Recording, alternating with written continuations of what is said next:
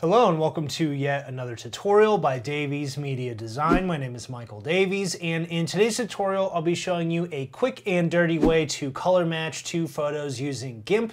This is GIMP version 2.10.20 which is the latest version of GIMP at the time of this tutorial.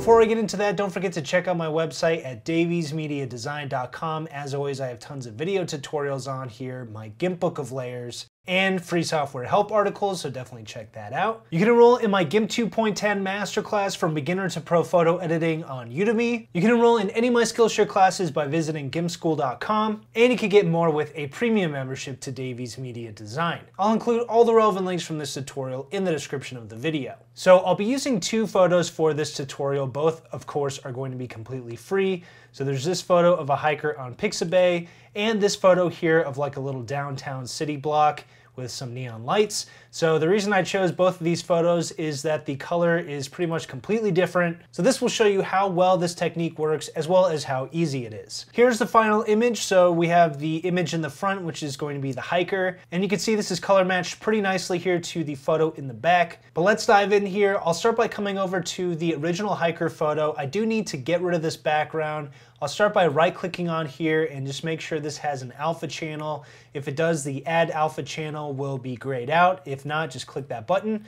Of course, we need to erase the background here. And as I usually mention in my tutorials, there are plenty of ways to erase an image background in GIMP. I have a tutorial on how to do that, which I will link to this video. But the way I did it in this case was I came over, grabbed my paths tool, and just quickly outlined using the paths tool around my subject. I have an entire tutorial dedicated to how to master the paths tool, so definitely check that out. I'm not gonna do that for this tutorial because I've already done this ahead of time. So if I'm in my paths tab here on the right side, I can show the path around my subject. And once I have the path drawn, I can just come over here and click the path to selection icon. That will draw a selection around my photo here, around my subject. And I'll come over to the layers panel, right click on the original photo and go to add layer mask. Under initialize layer mask 2, I'll choose selection and click add, and that will mask out our background. I'll hit Control Shift A to deselect that. The reason I'm not going to cover erasing the background is that's not what this tutorial is about. This tutorial is about color matching multiple photos with different colors. So in order to do that, the next step is to bring in that photo of the neon background there. So I'll do that by going to File. And if you know where this photo is on your computer, you can go to Open as Layers. In my case, I'll go to Open Recent and I'll come over here and choose the photo I want to work with. So here's the original photo. I'm just going to come over to our photo with the background removed, click and drag that tab over here to our tab with the building, drag it on top of the composition and release. So here's our guy standing in front of the building. I need to scale this, so I'll hit Shift S on my keyboard, make sure the transform mode is set to layer, and I'm just going to click and drag the transform handle to scale this up. And I'm gonna move this in place so it looks like he's kind of off to the side here looking at the entrance to this building. That looks pretty good, so I'll hit scale. So the issue now is that the colors look totally different, so this looks really fake. And the other thing is that both of these are totally in focus, which is not common for a camera lens. Usually one item is going to be out of focus. So let's start by color matching this. So this method for quickly color matching two photos is going to start with the eyedropper tool. So we can access this tool using the O key on the keyboard or by grabbing it over here inside of this bottom tool group in the toolbox. And you'll notice when I hover my eyedropper tool over the photo, it's not just that tiny eyedropper that you're used to, it's actually a gigantic eyedropper. So if I come over here to my tool options, you'll actually see there is something called sample average that's checked. So when I uncheck that, this is what you guys are used to seeing with the eyedropper tool. So I can grab individual pixel colors here, but it's not super helpful in this case. When I click sample average, that's going to sample the entire area inside this rectangle here, inside this square, and it's going to take the average color from inside there. So if I come over here to my buildings layer, you guys will definitely notice that the overall color of this is going to be a purplish color. There's some blues in here as well, but it's pretty much dominantly purple. So if I click with this eyedropper tool, you'll see it's going to grab an average of that rectangle area, that square area, and over here inside my foreground color, you'll see it's now going to be a sort of dark purplish color. So this just allows a very quick way to get an average. If I turn this all the way up, you'll see we get an even larger area. And this can provide us with an even better look at the color that you're going for, the average color. And if you are just trying to color match one particular area that your subject is in, let's say you're compositing a photo and the subject's on the left side, like in this case, and the left side has a totally different color in the image, you can just click around that same area where your subject is standing and it will grab the average colors of that area and you can then apply it to your subject. Once you have the color you want, so we'll go with this darkish purple, I'll hit Shift B to grab my bucket fill tool.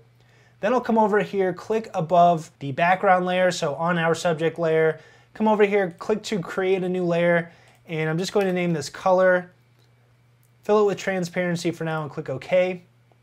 So with my bucket fill tool, I'm just going to click inside. You can also just drag and drop the foreground color like so. That'll add this purple color here. The obvious issue is it's totally covering up our subject. Let's come over here to the dropped buffer layer and alt click on my dropped buffer layer.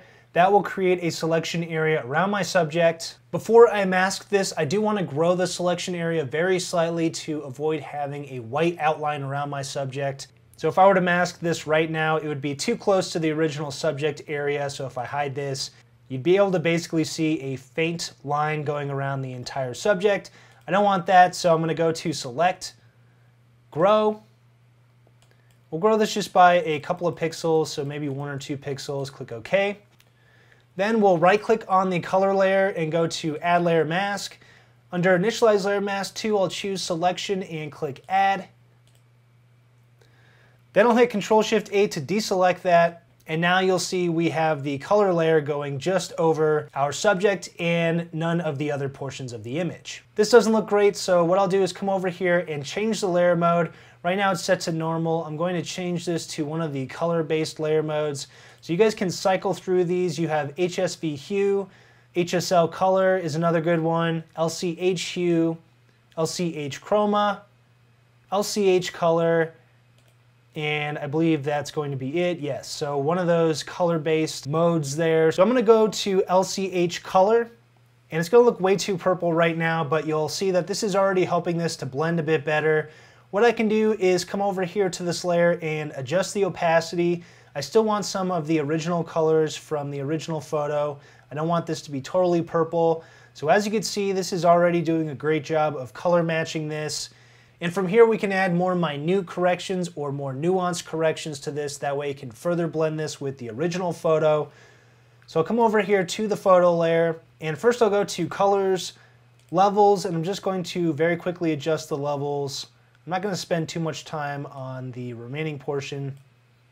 So I'll add some contrast and darken this a bit. So here's a before, here's an after. And I'll click OK. Next, I'm just going to adjust the shading of our layer here. So I'll come over and grab my dodge and burn tool from this layer group. You guys might see the smudge tool first. You can also just hit Shift D. So the burn tool is going to darken any of the areas we paint and we can change this to darken the highlights of our layer, the shadows or the midtones. So for example, if I scroll down here on my tool options, you'll see right now this is set to highlights and the exposure is turned up. If you want less of an effect, you can turn the exposure down. But now let's shift over to midtones. So we've darkened the highlights. Now we're darkening the midtones here. And then come over to shadows. And if we wanted to really darken the shadows, we could turn the exposure way up and just paint on the shadows. And as you can see, now the photo is looking darker, so it's starting to match the lighting of the photo, the lighting of the backdrop here. And if I hold the control key, it'll automatically switch to my dodge tool. So the dodge tool is just going to brighten any areas we paint on. I'll hit control Z. Let me change this to the highlights.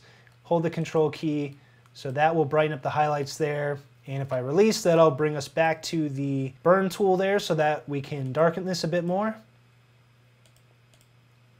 And the last thing I'll do to this photo is just blur the background here. So let's come over to the background layer.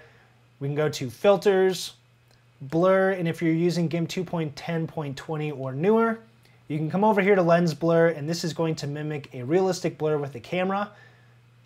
So we can increase or decrease the radius of this. So let's just blur this a little bit and click OK. And actually one last thing I'll do is just blur the edges of our subject. So I'll come over here to the dropped buffer layer. Let's come over to the dodge and burn tool and change this to blur sharpen. Make sure this is set to blur. You can turn the rate up or down depending on how much blur you want.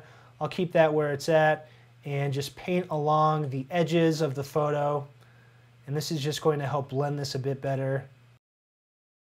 So there we go. Let me click on the background layer and there's our final photo. All right, so that's how you very quickly color match multiple photos using GIMP. Hopefully you liked this tutorial. If you did, you could check out my YouTube channel at youtube.com slash daviesmediadesign. Don't forget to subscribe and click the bell icon to be notified each time I have a brand new tutorial. You can check out any of the links to my resources in the description of the video. But thanks for watching, and I'll see you next time.